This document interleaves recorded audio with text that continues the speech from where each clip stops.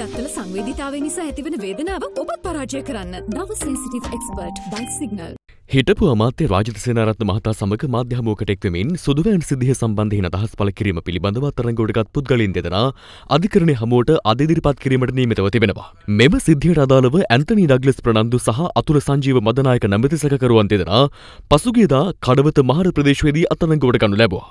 අනතුරුව මොවුන් පැය 72ක කරඬු මුනියෝග මත ප්‍රශ්න කිරීමට අපරාධ පරීක්ෂණ දෙපාර්තමේන්තුව පියවර ගත්තා. ඒ අනුව මෙම සැකකරුවන් අධිකරණය වෙත අද ඉදිරිපත් කිරීමට නියමිත බවයි එම දෙපාර්තමේන්තුව සඳහන් කළේ.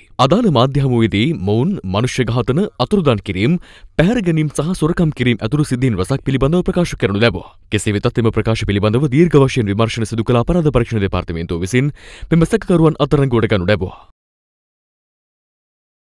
Maxis, number one tire in Sri Lanka.